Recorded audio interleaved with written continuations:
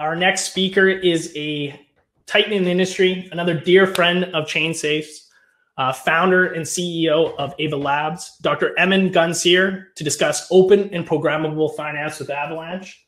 Uh, Emin, um, go ahead and uh, share your camera and microphone. I just uh, gave you broadcasting rights. How are you doing today? Very good. How are you? I'm doing well. We're very excited to have you. Very nice to be here. I, I am not sure if I I I'm, i was trying to find out in the in the panicked moments before this call whether or yeah. not I should have a slide deck available with me or not. Uh, whatever you'd like to present. Uh, if you'd like to share your screen with a slide deck, you can certainly do so. Uh, otherwise, the floor is yours. Uh, I see. So this is the format here is that uh, that I do a presentation. So yes.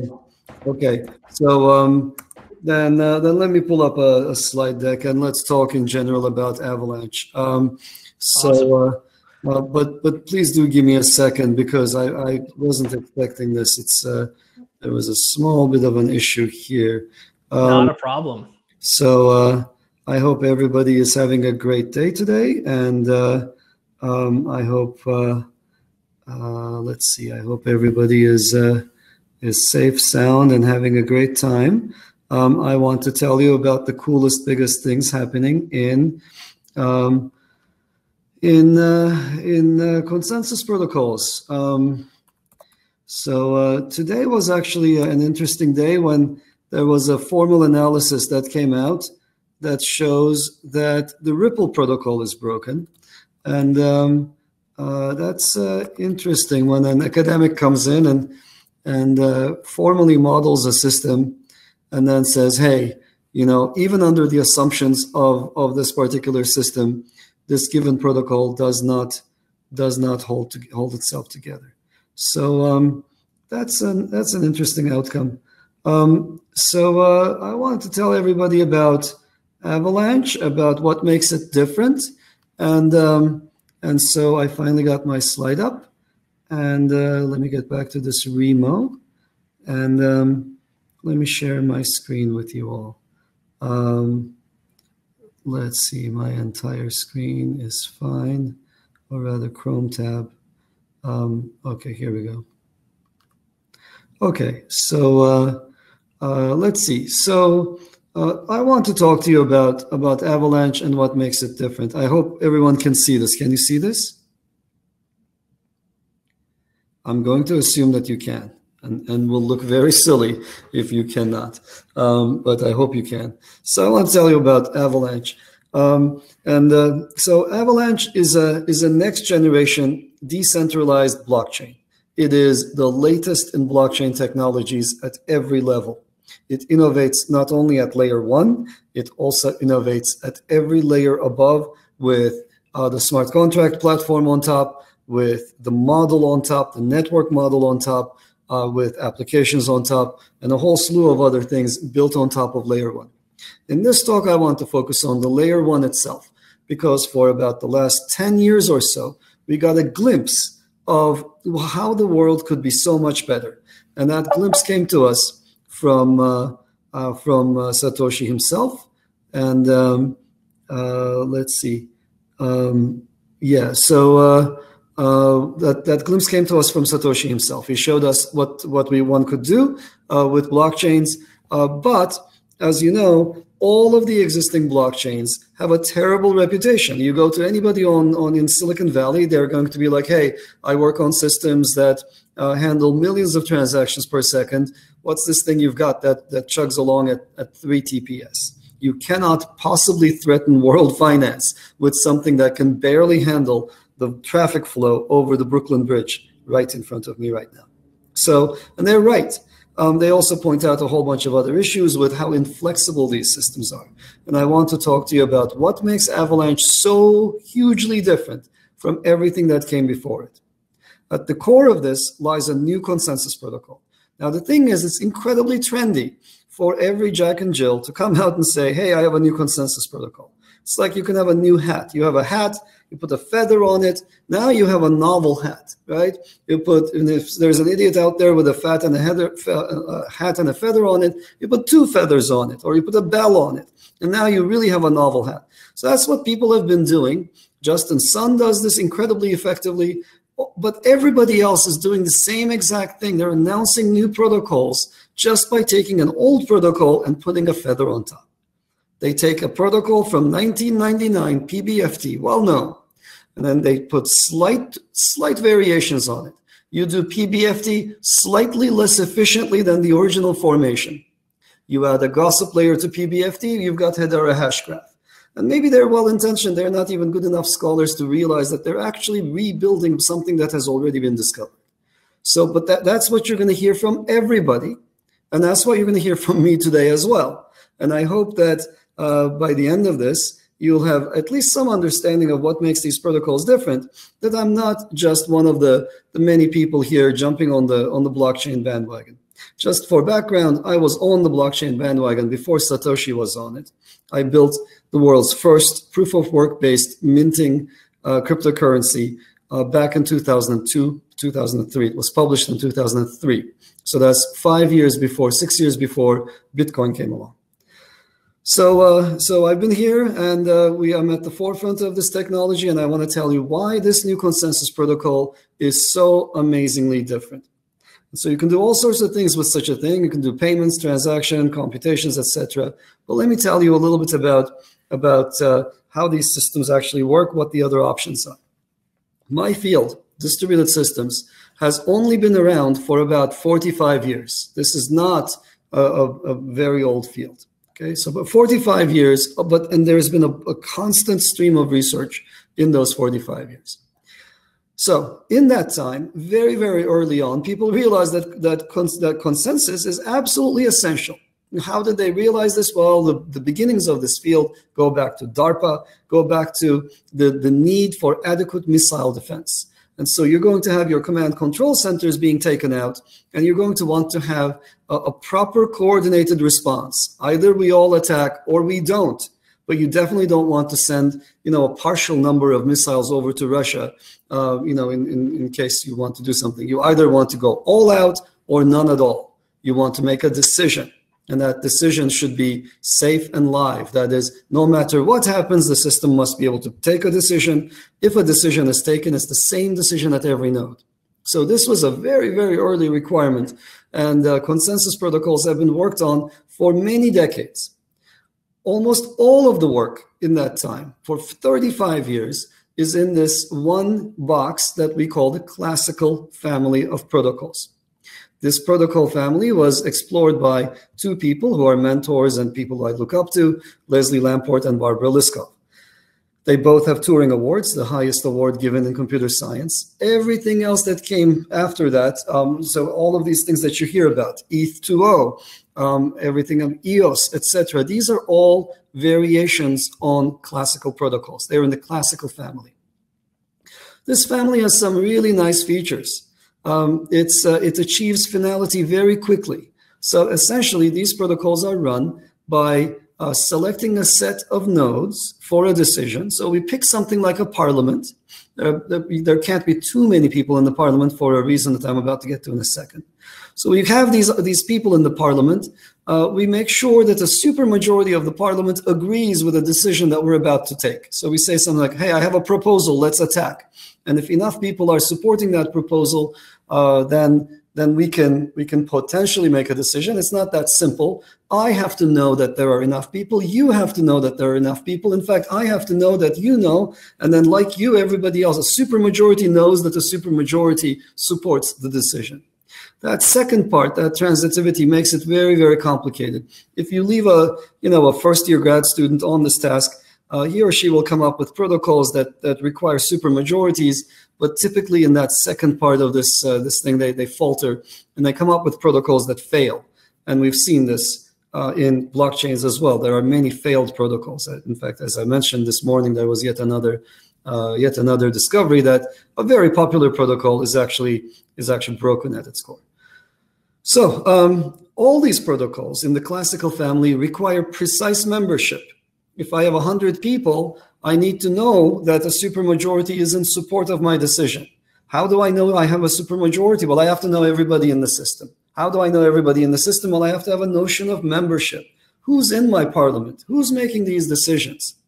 And not only do I need to know this, but you need to know this as well. And you can't trust me to tell you because then I could lie to you. So you have to ascertain for yourself that there is enough uh, support for this decision. So the communication complexity is very large. Typically, it's quadratic.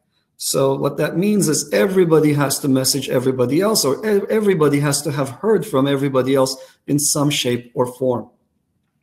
So people, uh, yeah. So anyhow, so that's so the the bottom line of of classical protocols is they don't scale well. The world's best classical protocol is a protocol called Hot Stuff. That was designed a few years ago when my student Ted Yin, uh, I sent him to Silicon Valley. He spent a summer there. He is the first author on that protocol. And you know this protocol as the system, as the protocol behind Facebook's Libra, which just got renamed to Diem. So, um, so Ted worked on it for a summer, came back to me and said, "Hey, I built something cool. This is the best of its kind, but I want to build something even cooler." And um, and we we we worked on uh, Avalanche together. I'll get to Avalanche in a second. But I hope everybody sees how these protocols work. They, the communication looks kind of like this graph. So if you type uh, classical BFT consensus into Wikipedia, you will see this graph.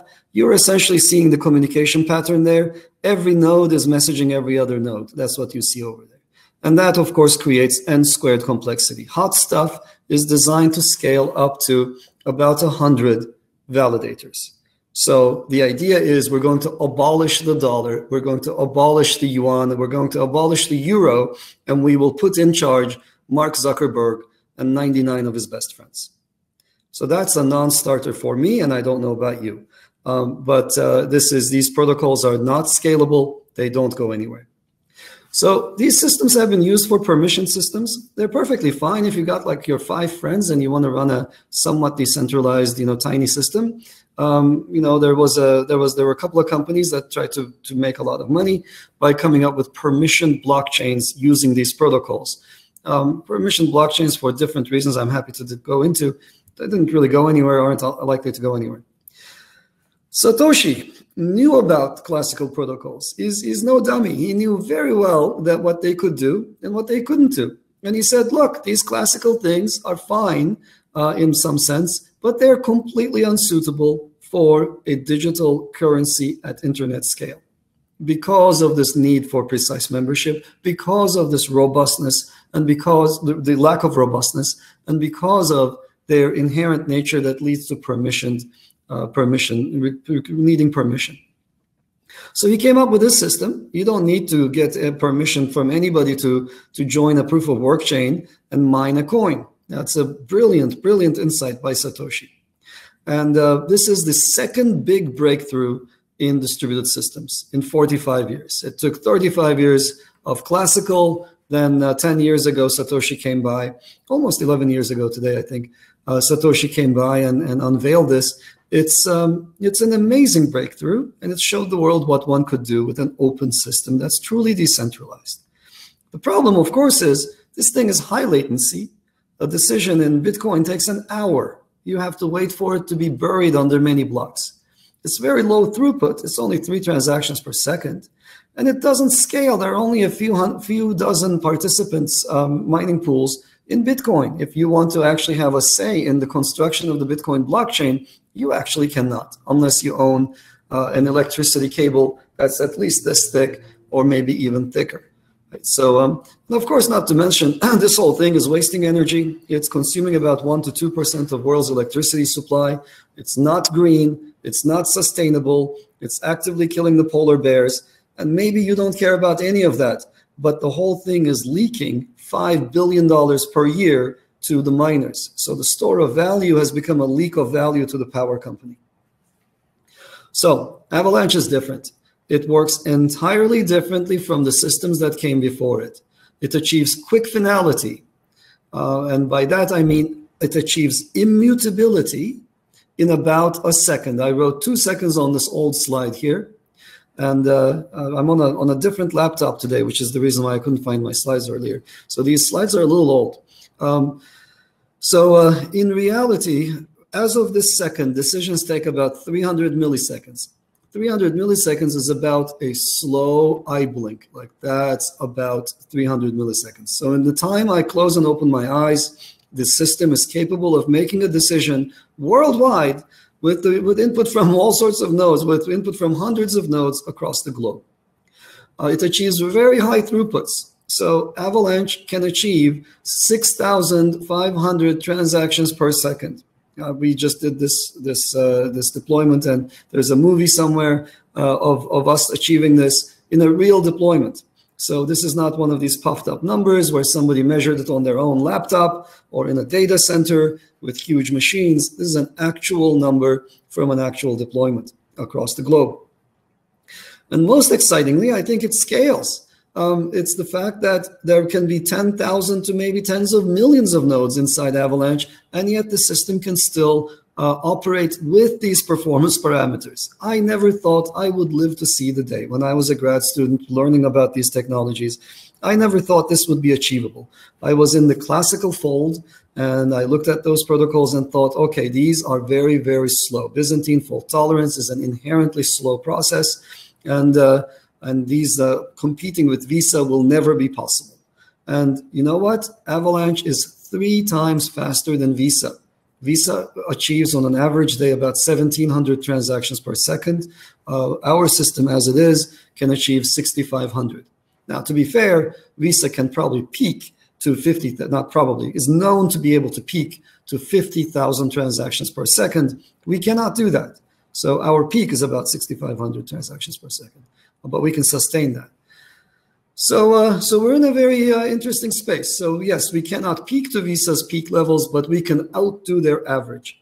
And that opens up the field to a whole bunch of other things. Whereas Bitcoin is 3 TPS, we're about 2,000 times faster than that. when you add that many zeros, it's not just a quantitative change, but it's a qualitative change.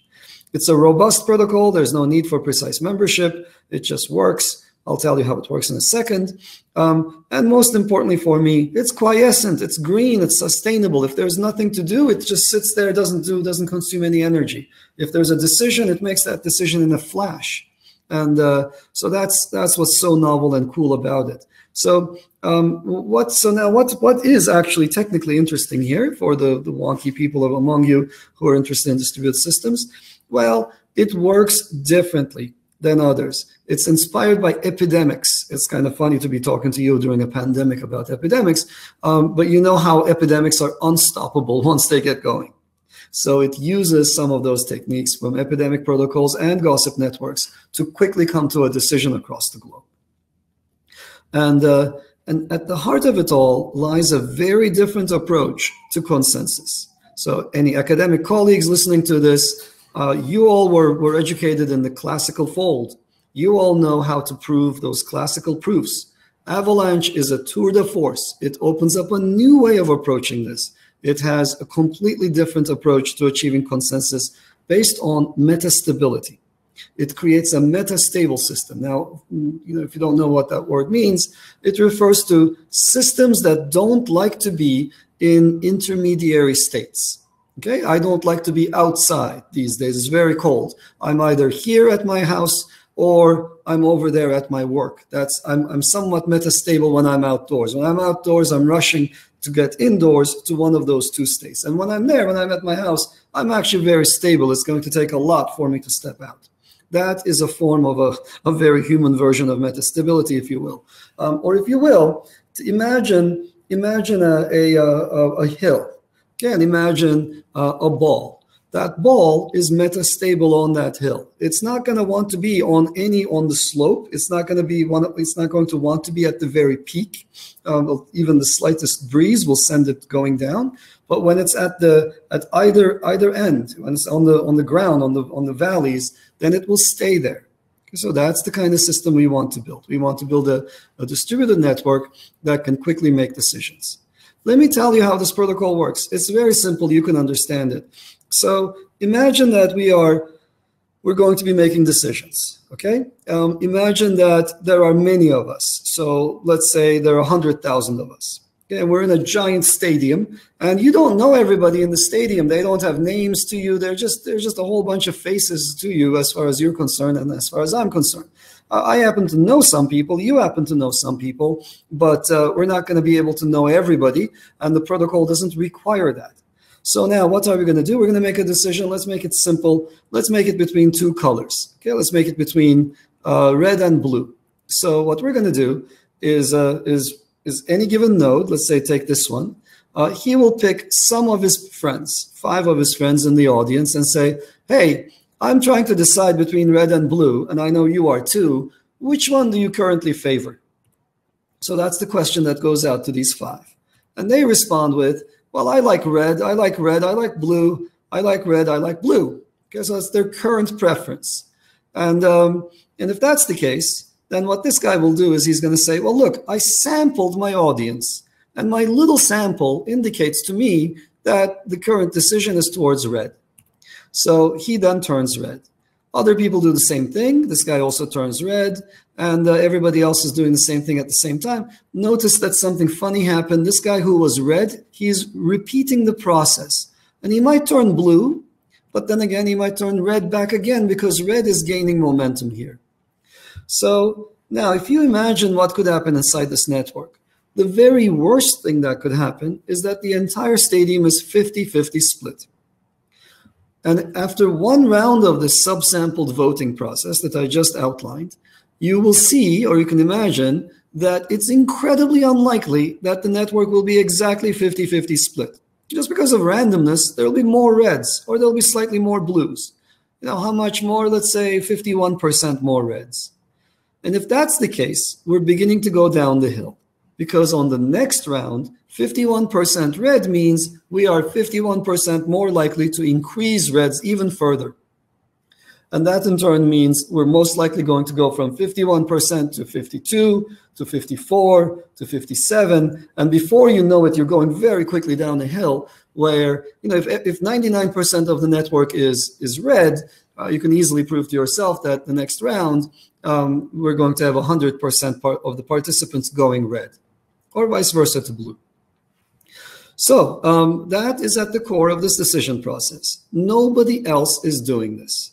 We were the first ones to note that this process is super fast, super efficient, and is the basis for a whole new class of consensus protocols. This is nothing short of a major breakthrough in science. It's the third biggest thing that happened in my area uh, of distributed systems when it comes to consensus protocols. So uh, this process can tolerate a large fraction of Byzantine participants. What does that mean? Um, these other protocols break down if 34% of the participants are evil or if 51% of the participants are evil. In Avalanche, that is not the case. Avalanche can handle even uh, attackers that are bigger than 51%. So we can't handle it with liveness. You can't be live, but you can maintain safety. The, the sanctity of account balances can be maintained even when the attacker is larger than 51%. It's an egalitarian ecosystem. You can join it and be just as big a miner, just as good a miner as anybody else. You could be the Jihan Wu of Avalanche tomorrow, and, and so can anyone else. Uh, my goal in life is to make sure that, that people can participate via cell phones, via like applications that they run on their cell phones for true absolute decentralization. And uh, uh, it's the whole system works with maximal concurrency. It doesn't create just a single blockchain, but it creates a giant graph. Think of it as uh, as making many decisions in parallel, and that's partly the, the reason why we can make we can make claims uh, of the kind that I mentioned. Well, that's how we are able to beat Visa by threefold because we're not trying to do one decision after another after another. We're making many decisions in parallel using this system, where a vote for one transaction is actually a vote for many series of transactions that led up to that transaction. And so that is, uh, is part of the magic that goes into Avalanche. Um, but that's not the only innovation. That's a major, major innovation, right? So if we think about this, the, the people who kind of came up with the classical framework, they have Turing awards. Satoshi doesn't have a Turing award. He has a billion, uh, he has a million coins, approximately uh, what $20 billion right now.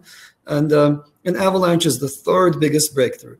Everybody else will claim, you know, all sorts of things about their new consensus protocols that are just recycled classical protocols that they picked up from an old, in fact, from an ancient uh, uh, academic paper. This is genuinely new. But the novelty doesn't end there. There are many other things that we do differently. So one of the most exciting things is we're the only chain that, or only system that supports multiple virtual machines. Everybody else has this notion that they are going to have one coin, one virtual machine that defines how that coin behaves, and then one network. We are not like that. So how are we not like that? Well, first of all, we are a system whose goal is to digitize every asset. I am not here to say, hey, buy my Avax coin. I don't care if you do or don't, okay?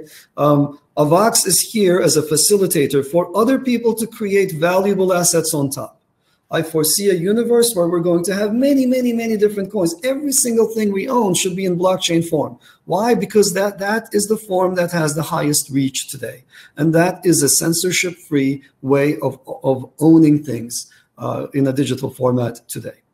So, uh, but you can't. So, so first of all, it's not just about one coin. I'm not here to shill my coin at all. Uh, I'm here to enable other people to create coins on top. Now, those coins in turn have to have a way of behaving that is defined by the virtual machine. And that's why we support multiple VMs. We support not only the Ava virtual machine that allows people to create um, you know, basic coins, uh, but also we support the Ethereum virtual machine. We support the entirety of Ethereum. We're the only system that, as far as I know, has a current working copy of the EVM.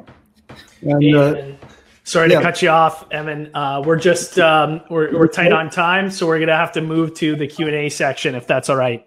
Um, let me just wrap up then. In that case, absolutely so sounds good. We support, we support multiple virtual machines, and uh, we support multiple networks that come with them. And um, so, uh, so that way you can have a GDPR compliant, EU compliant, or US compliant networks uh, for uh, for different people.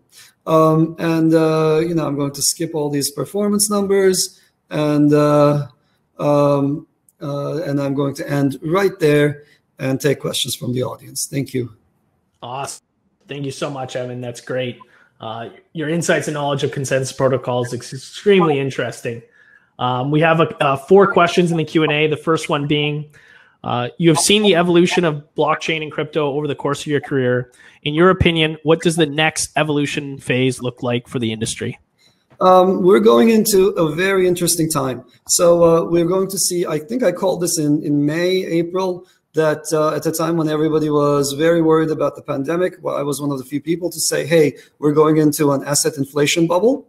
And uh, we're going to see more of that with the coming second round of stimulus. So uh, expect uh, all of the assets, all, all stocks to, to go up expect that money to overflow into crypto and um, and expect the rising tide to raise everybody.